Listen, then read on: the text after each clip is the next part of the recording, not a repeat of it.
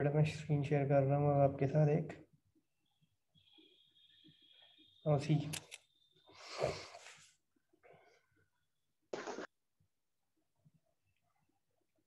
let's start the next topic. इस topic का नाम है, इसमें चार चीज़ें होती हैं बेटा। फ़र्स्ट इज़ इम्प्लीकेशन ठीक है? इस इम्प्लीकेशन को कन्वर्स कर सकते हैं। इन्वर्स कर सकते हैं।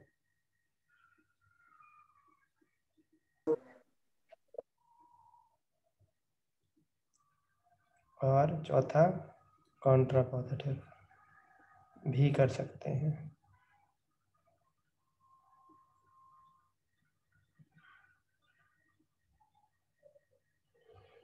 सबसे पहले अगर आपका कोई एक्सप्रेशन या फॉर्मूला इस फॉर्म में होता है इसको आप क्या बोलते हो? इम्प्लाइज इम्प्लीकेशन है ना? यही बोलते हो ना इसको आप? यस सर एक मिनट और वेट करते हैं। स्टूडेंट्स आर ज्वाइनिंग फिर कंटिन्यू करते हैं।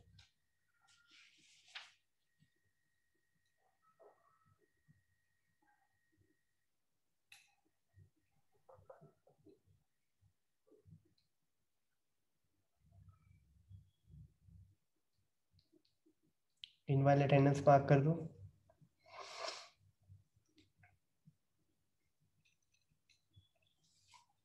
तो बड़ा ही सिंपल सा क्वेश्चन है अब। पी इम्प्लाइज क्यू इसको आप इम्प्लाइज इम्प्लीकेशन बोलते हो ना। इसी की फर्दर अगर आपने कन्वर्स करना हो। प्रिमाइज है, ये कंक्लूजन है। इसका आपने अगर कन्वर्स फाइंड आउट करना हो तो आप बस कन्वर्स में क्या होगा? जो आपका कंक्लूजन है वो परमाइज बन जाएगा जो परमाइज है वो कंक्लूजन बन जाएगा। तो इस एक्सप्रेशन का इस फॉर्मूले का कन्वर्स ये रहा। पी इम्प्लाइज क्यू का कन्वर्स क्या है? Q implies P is it okay yes और अगर इन्वर्स करना हो इसी का इसका पी इम्प्लाइज क्यू का तो दोनों साइड आपने निगेशन डाल देना है, बस। इसको बोलते हैं इनवर्स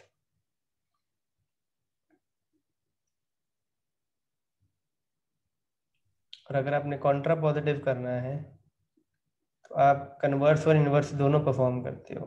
मतलब निगेशन भी लगाते हो और पोजीशन स्वैप भी करते हो आप।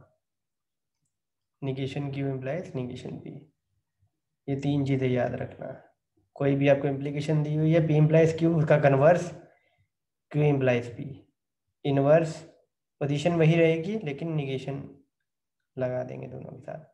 और कॉन्ट्रा पॉजिटिव पोजीशन भी चेंज और निगेशन भी साथ में लग जाएगा। Is it okay yes sir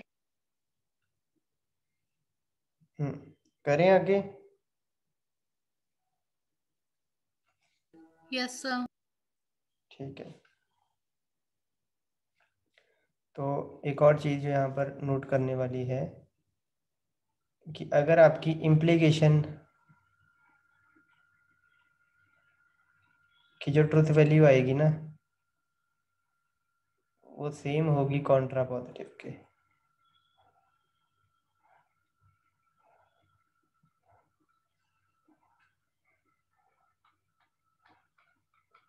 मतलब ये अगर इम्प्लीकेशन ट्रू है तो कॉन्ट्रा पॉजिटिव भी ट्रू होगा। इम्प्लीकेशन फॉल्स होगी तो कॉन्ट्रा पॉजिटिव भी फॉल्स होगा। और इनवर्स और कन्वर्स भी, इनकी ट्रुथ वैल्यू भी डेफिनेटली सेम आएँगी। ये ट्रू तो ये भी ट्रू ये फॉल्स तो ये भी फॉल्स और इनकी आपस में हो सकता है सेम भी आ जाए, हो सकता है डिफरेंट भी आ जाए।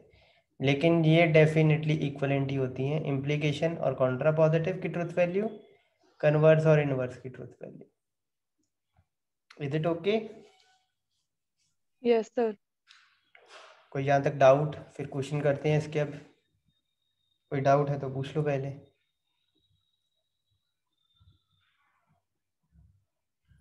सर एक बार जो आपने लास्ट में बताया इनवर्स और कन्वर्स जब बता दो। ये मैं बस ये कह रहा हूँ कि ये आपका इम्प्लीकेशन है सपोज़ इसकी ट्रूथ वैल्यू कुछ आती है लेट से ट्रू आती है। तो अगर इसका कॉन्ट्रा पॉजिटिव करता हूँ, जो कि ये स्टेटमेंट लेके देगा मेरे को, ठीक है? तो इसकी ट्रूथ वैल्यू भी ट्रू आएगी। अगर ये फॉल्स आती है तो इसकी ट्रूथ वैल्यू भी फॉल्स आएगी। मतलब इनकी ट्रूथ वैल्यू सेम होगी। कॉन्ट्रा पॉजिटिव और इम्प्लीकेशन के फॉर्मूले का, जब आप ट्रूथ टेबल बना के इसको सॉल्व करोगे तो दोनों की ट्रुथ वैल्यू सेम आएगी। और इनवर्स और कन्वर्स की भी इसी तरह सेम ही आएगी। इज़ इट ओके बच्चे म्यूट कर लो पीछे जिसकी आवाज़ आ रही है। ओके अब इस क्वेश्चन करें। तो सिंपल सा एक क्वेश्चन है आपका। उससे पहले एक फिफ्टींथ क्वेश्चन हम लास्ट में करेंगे। चलो सिक्सटीन कन्वर्स इनवर्स शुरू किया है। तो आपको क्वेश्चन दिया हुआ है find the converse inverse and contrapositive of the following statement और स्टेटमेंट ये रही। If 4x minus 2 is equal to 10 then x is equal to 3 ये स्टेटमेंट है। और ऑब्वियसली कॉन्ट्रा पॉजिटिव इनवर्स और कन्वर्स फाइंड आउट करने के लिए इम्प्लीकेशन होनी ज़रूरी है। तो सिर्फ़ इफ़ देन वाले स्टेटमेंट पे ही आपके कन्वर्स इनवर्स और कॉन्ट्रा पॉजिटिव आ सकते हैं। क्योंकि ऑब्वियसली इम्प्लीकेशन होगी तभी उससे कन्वर्स और इनवर्स बनाएँगे हम। इज़ इट ओके तो बताओ कैसे करें?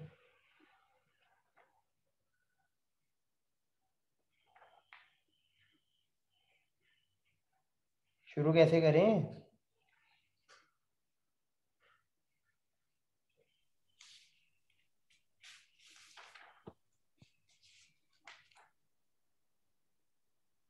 बोलो बेटा कैसे शुरू करें?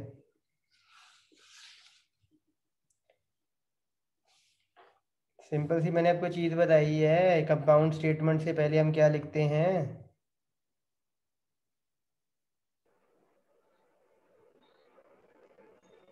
कुछ लेट करते हैं? यस सर को पी और दूसरी स्टेटमेंट को क्या हो ओके लेट पी पी क्या है आपकी? Four X minus two is equal to ten Q Q है आपकी? X is equal to three ठीक है तो ये आपकी इम्प्लीकेशन अब ये जो बनाई है इसने इफ़ ये तो इम्प्लीकेशन आपकी क्या आएगी? पी इम्प्लाइज क्यू क्यू तो ये इम्प्लीकेशन आ गई। अब इसकी फाइंड आउट करो। पहले कन्वर्स कन्वर्स क्या आएगा? Q implies P Q implies P और ऑब्वियसली लेकिन क्वेश्चन आपका स्टेटमेंट फॉर्म में है तो आंसर भी स्टेटमेंट फॉर्म में होना चाहिए। तो क्यू इम्प्लाइज पी का मतलब क्या होगा? इफ़ क्यू क्या है? हाँ। X is equal to 3. Then 4x minus 2 is equal to 10. बिल्कुल सही ओके अब इनवर्स क्या होगा negation negation p implies negation q negation p और implication ही देखना ठीक है गलती से कन्वर्स ना देख लेना कि ऊपर हमने ये सॉल्व किया है तो ये देख यही देखना negation p implies negation क्यों क्या स्टेटमेंट बनेगी? If X is not equal to not आएगा. If X is not if यहाँ क्या लिखो? Four X minus two four X minus minus two not is equal to two ten then X is not X is not not equal to three ठीक है? और last contrapositive negation q implies negation p बिल्कुल सही negation Q implies negation P if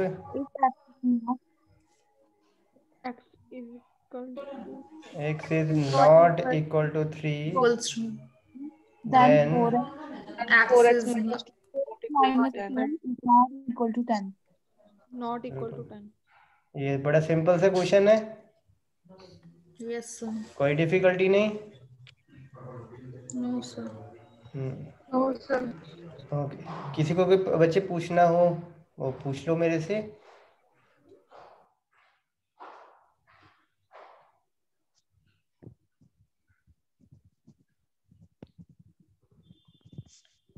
अगला question करें? कोई doubt Yes, तो sir. नहीं? अगला क्वेश्चन करें? Yes sir. Now roll number 13 of bca is she present 16 bca roll number 9 bsc it sir 9 हाँ जी 9 bsc it yes sir बच्चे क्वेश्चन है सेवनटींथ उसने बोला है state converse and contrapositive of implication if today is Thursday then I have a rest today दोबारा लिखता हूँ। If today is Thursday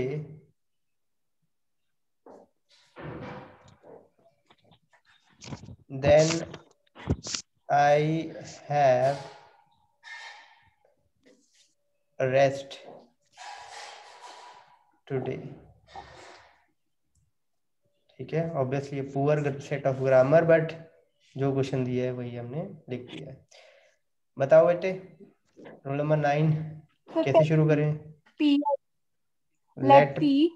Hmm today is thursday. A is Thursday okay and q.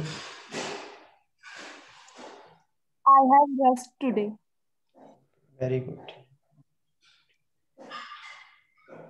roll number sir p impli हाँ हाँ कोई नहीं आगे फिर अगले स्टूडेंट बोलता है।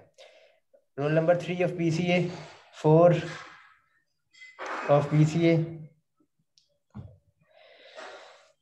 roll number seventeen of B C A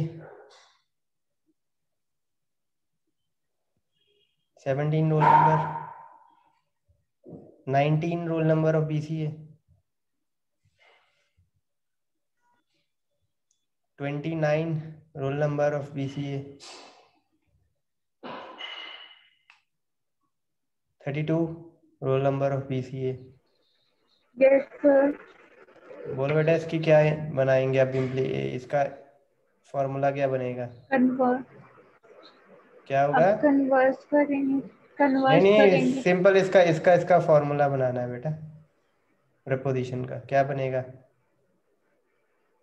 If today is Thursday then I have rest today इसका क्या बनेगा? एक्सप्रेशन क्या बनेगा? फॉर्मूला क्या बनेगा? P equivalence q equivalence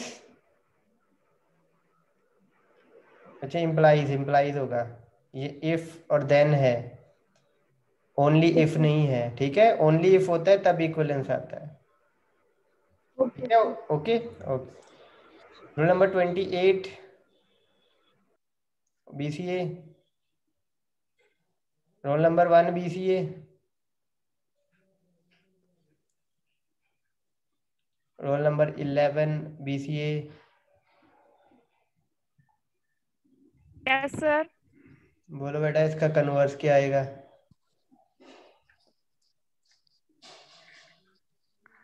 If i have a rest today then today is thursday. Expression पहले बोलो। Converse का एक्सप्रेशन क्या आएगा?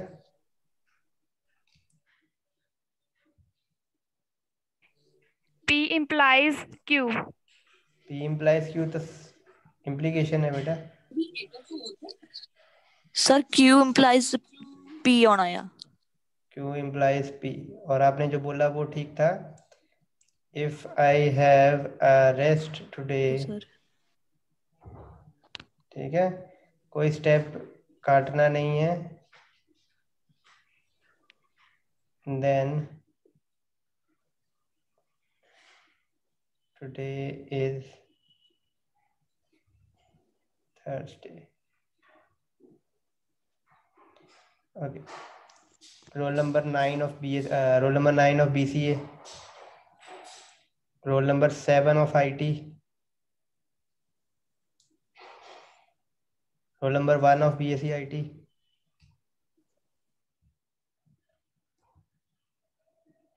Fifteen of BCA, roll number fifteen. Roll Yes, number fifteen yes बच्चे। इनवर्स क्या होगा इसका? सर इसका इनवर्स बिल्कुल। Sir negation P implies negation Q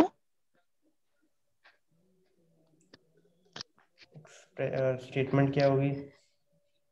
sir negation P की today is not Thursday then I have not a rest today excuse me sir हाँ जी is not thursday sir उन्होंने क्वेश्चन में कन्वर्स और counter positive निकालने को बोला बस कोई नहीं हमने इनवर्स भी प्रैक्टिस कर लिया साथ में ना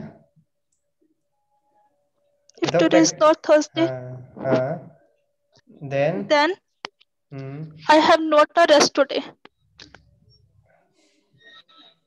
I will not have a rest today yesterday. Obviously grammar will not uh, भी है uh, अगर आप आई डू नॉट भी लिखते हो तो भी कोई इशू नहीं है। Okay sir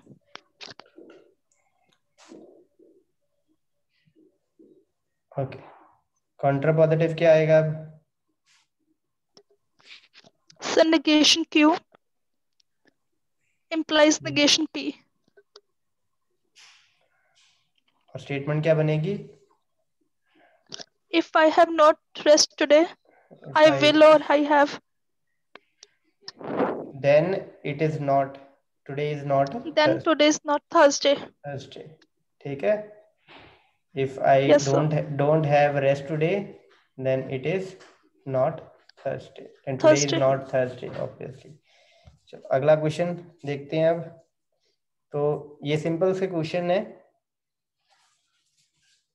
और नेक्स्ट क्वेश्चन है आपका सिंप्लीफाई करना है इसको। सिंपलीफाई ठीक है, और सॉल्व नहीं करना है सिंपलीफाई करना है। Negation negation p implies negation q, इसको सिंपलीफाई करना है। तो ऑब्वियसली सिंप्लीफाई आप करोगे लॉस को यूज़ करके, या कुछ आपकी आइडेंटिटीज जो मैंने उस दिन बताई थी, वो यूज़ करके। आइडेंटिटीज ये वाली। P implies q negation p disjunction q एक ये बताई थी एक ये बताई थी p equivalence q is p implies q conjunction q implies p और एक ये भी बताई थी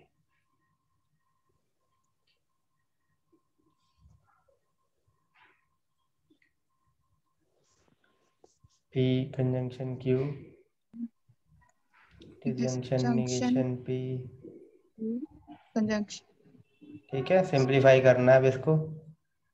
तो एक मैं करके देता हूँ आपको सिंपलीफाई ऑब्वियसली सिंपलीफाई का मतलब है सिर्फ़ ये वाले ऑपरेटर्स ही आए ये वाले कनेक्टिव्स ही आए। तो ये इम्प्लाइज वाला है इसको हटाना है। तो इसको हटाने के लिए हम ये यूज़ कर सकते हैं ये वाला। तो जब हम इसको हटाते हैं तो जो प्रिमाइस होती है, उसके साथ निगेशन आ जाता है। तो यहाँ पर प्रसाइज पहले ही निगेशन है। निगेशन ऑफ़ पी ऐसे आ जाएगा। इसकी जगह पे डिसजंक्शन और कंक्लूजन ऐसे का ऐसे ही आ जाता है।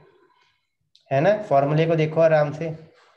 जो पहली वाली टर्म होगी, उसका इसके साथ निगेशन आ जाएगा। तो ये मेरी पहले वाली टर्म थी। इसके साथ मैंने निगेशन लगा दिया है। बीच में मैंने डिसजंक्शन का साइन लगा दिया है। ये दूसरी वाली टर्म थी दूसरी वाली टर्म देखो एज इट इज़ आ रही है। तो मैंने उसको एज इट इज़ रहने दिया है।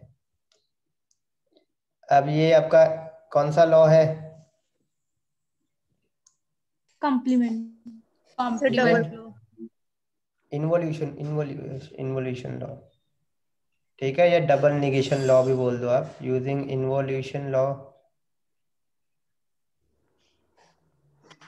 या आप डबल निगेशन लॉ बोल दो, जैसे उसका डबल कॉम्प्लीमेंट था या इसमें डबल निगेशन तो पी डिसजंक्शन निगेशन क्यू अब कौन सा लॉ लगाए? डबल निगेशन लॉ ये होता है आपका। ठीक है? ओके अब कौन सा लॉ लगाए? Using using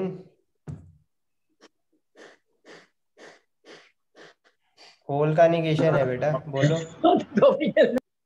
sir D Morgan's law बिल्कुल। De Morgan's law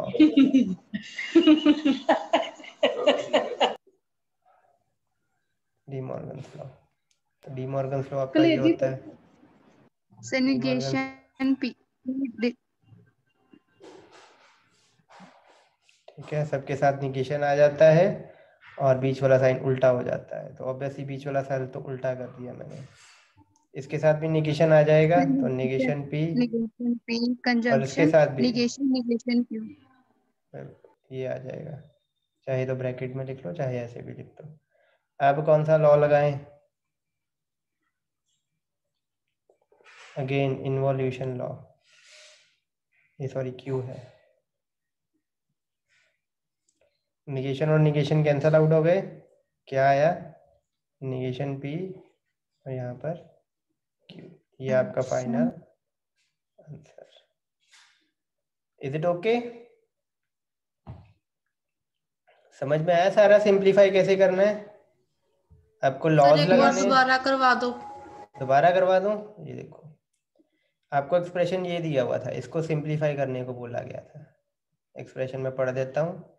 negation bracket के अंदर negation P implies negation Q और सिंप्लीफाई का मतलब होता है कि सिर्फ़ निगेशन कंजंक्शन और डिसकंजंक्शन इस फॉर्म में आपको अपना एक्सप्रेशन लिखना है। बी मतलब इम्प्लाइज भी नहीं आए और ये भी ना आए। ठीक है? और ऑब्वियसली जितना हो सके उतना सिंपल फॉर्म में हो। तो हम लॉज यूज़ कर रहे हैं, जितना मतलब सिंपल फॉर्म में मतलब छोटे से छोटे फॉर्म में हो। तो हम लॉज यूज़ कर सकते हैं और आइडेंटिटीज यूज़ कर सकते हैं। ये आइडेंटिटीज कुछ तीन मैंने यहाँ पर लिख दी हैं। इसको बच्चे याद कर लो आप। और ऑब्वियसली और भी आइडेंटिटीज हैं जो नेक्स्ट चैप्टर में, अभी मैं उनको रिवील नहीं कर रहा हूँ, क्योंकि वो कन्फ्यूज़न अभी आपकी और बढ़ाएँगी। तो फ़िलहाल आप इन तीन को याद रखो और लॉस को याद रखो। दैट्स इट तो ऑब्वियसली पी इम्प्लाइज क्यू को यूज़ कर सकते हैं हम। ये निगेशन पी और डिसजंक्शन क्यू होता है। तो पहली वाली टर्म के साथ निगेशन आ जाता है। ये भी वैसे ही है, पहली वाली टर्म के साथ अब निगेशन डाल देना है हमने। तो ये देखो निगेशन निगेशन पी दूसरी वाली टर्म के साथ कुछ नहीं करना है एज इट इज़ आनी है, वो एज इट इज़ आ गई। इम्प्लाइज का कंजंक डिसजंक्शन हो गया। अब ये देखो, ये निगेशन निगेशन है। तो यहाँ पर हम डबल निगेशन लॉ लगा सकते हैं, या इन्वॉल्यूशन लॉ बोलते हैं जिसको हम, वो लगा सकते हैं। डबल निगेशन मीन्स दोनों दोनों निगेशन कैंसल आउट और आपका ट्रू फॉर्म आ जाएगी। तो ये देखो आ गई फिर अब होल के होल के ऊपर निगेशन है तो यहाँ पर हम डी मॉर्गन्स लॉ लगा सकते हैं। डी मॉर्गन लॉ में क्या होता है? निगेशन आपका अंदर चले जाता है और बीच वाला साइन जो है वो चेंज हो जाता है। कंजंक्शन है तो डिसजंक्शन हो जाता है डिसजंक्शन है तो कंजंक्शन हो जाता है। यहाँ पर डिसजंक्शन था तो कंजंक्शन हो गया है। ये निगेशन आपका पी के साथ भी लग गया पहले। ठीक है? निगेशन पी और ये निगेशन आपका निगेशन क्यू के साथ भी लग गया। तो फिर अगेन डबल निगेशन आ गई। अगेन इन्वोल्यूशन लॉ यूज़ किया या डबल निगेशन लॉ यूज़ किया तो सिर्फ़ क्यू आ गया आपका। इज़ इट ओके और ये आपका सिंप्लीफाइड है। इसके आगे कोई सिंप्लीफिकेशन नहीं हो सकती। Is it okay yes sir दूसरा और तीसरा क्वेश्चन अटेम्प्ट करना। अगर नहीं निकलता है कोई क्वेश्चन आपका, आपकी एक्सरसाइज ए जो है वो खत्म हो चुकी है। अगर इनमें से कोई भी आपका क्वेश्चन सॉल्व नहीं होता है तो कल हम सॉल्व करेंगे उसको।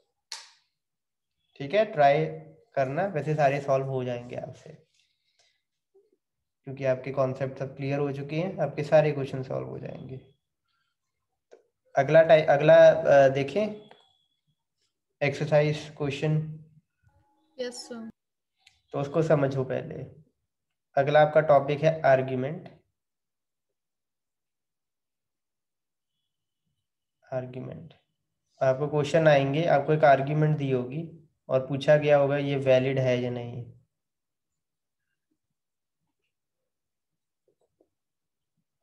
वैलिड और नॉट ठीक है तो सबसे पहले हम आर्ग्यूमेंट समझते हैं आर्ग्यूमेंट क्या होता है। आर्ग्यूमेंट में ना बेटा आपको पहले बहुत सारी स्टेटमेंट्स दी होंगी। आपको ना कहा गया होगा कि स्टेटमेंट वन है। कोई भी स्टेटमेंट हो सकती है। फिर आपको क्या गया हो सकता है कि स्टेटमेंट टू है।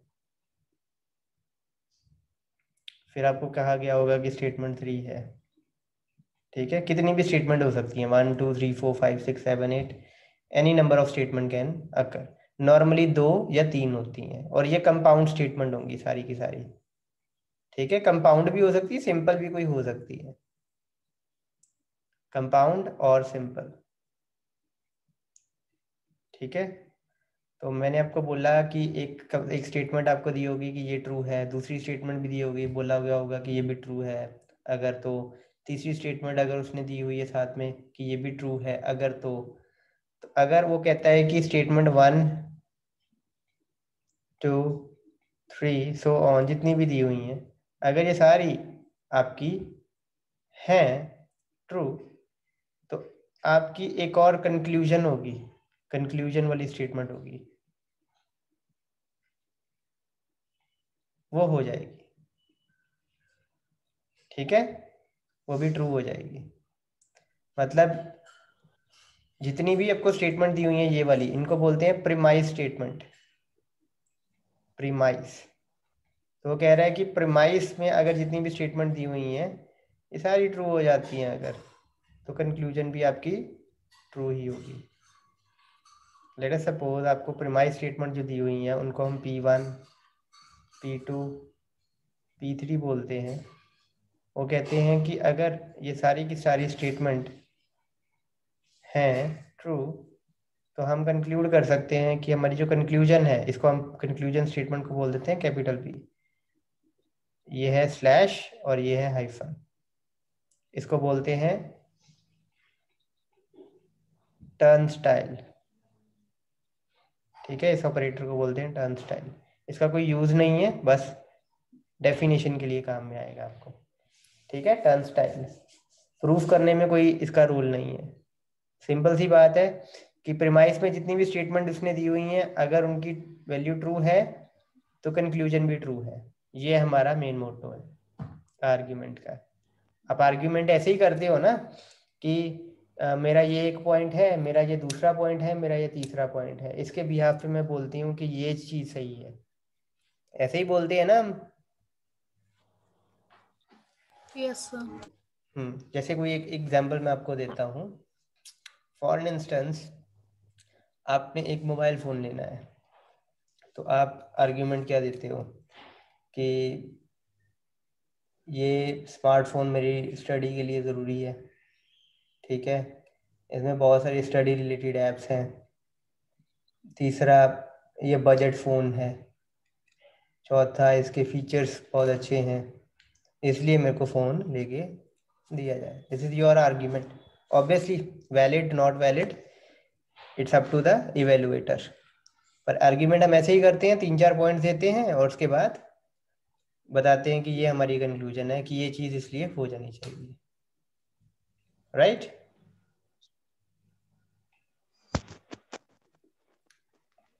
Got the point बच्चे? आर्ग्यूमेंट क्या होती है?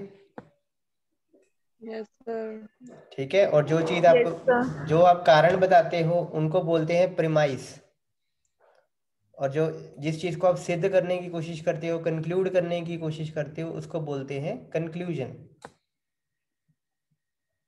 is it okay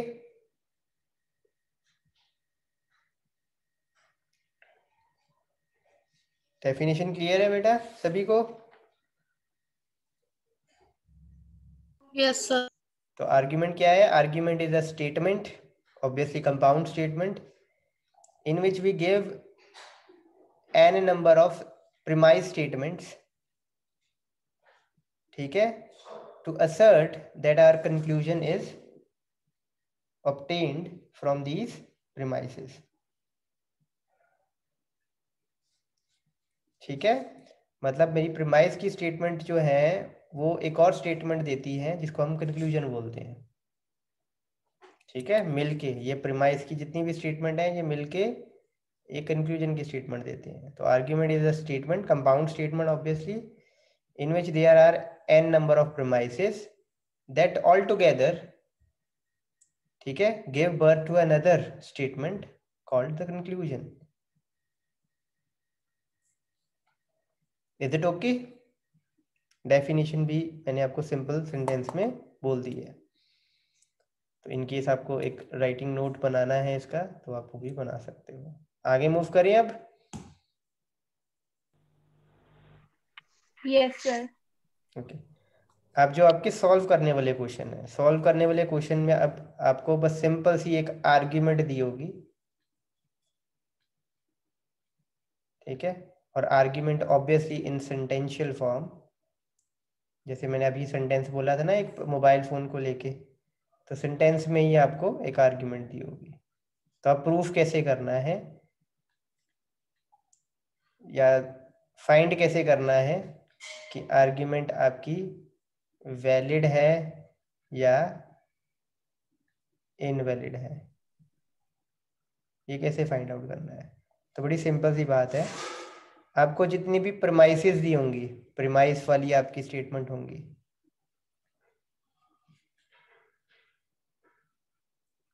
आपने उसका सभी के क्या बनाने हैं? फॉर्मूले बनाने हैं या एक्सप्रेशन बनाने हैं, जो वर्ड भी आप यूज़ करते हो। ठीक है? फॉर्मूला बनाना है आपको। सभी का।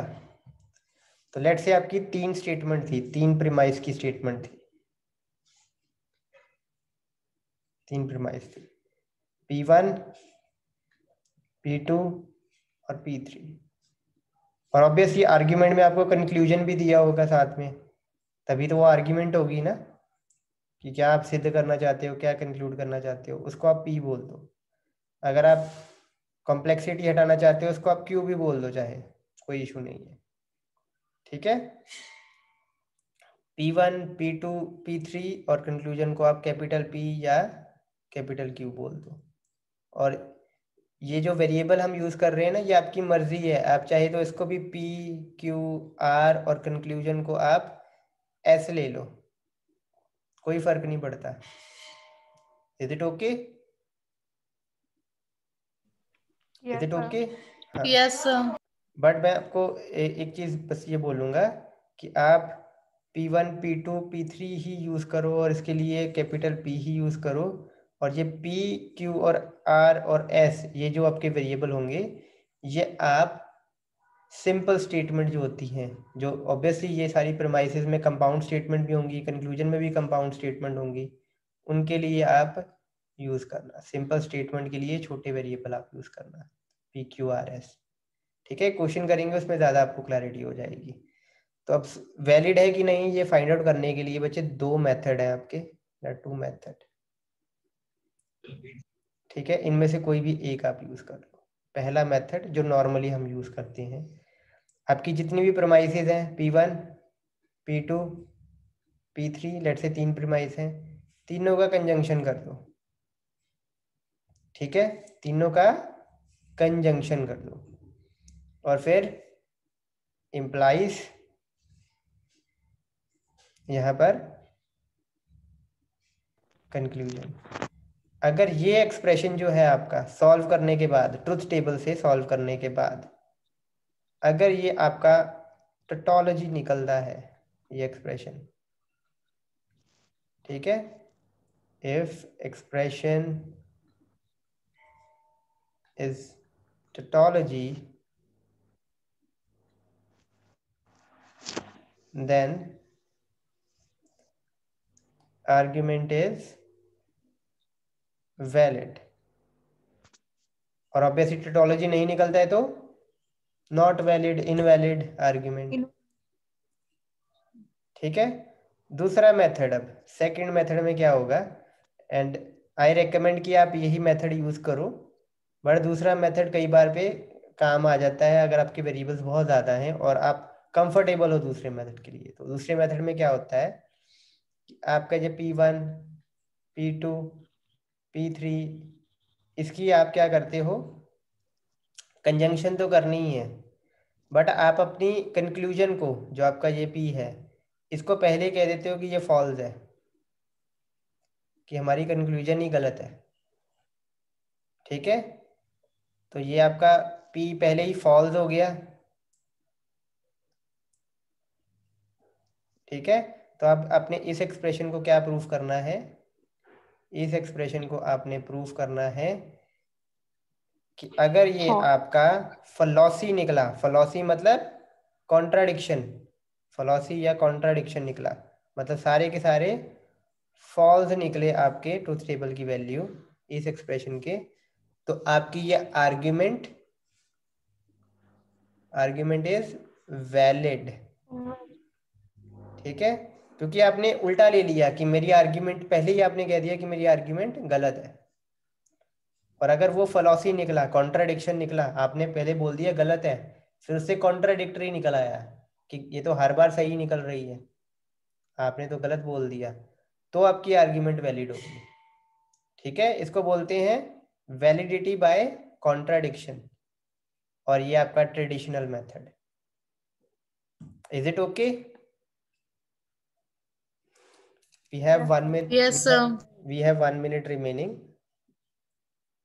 आप पूछ सकते हो बच्चे कोई क्वेश्चन कोई डाउट है आपका?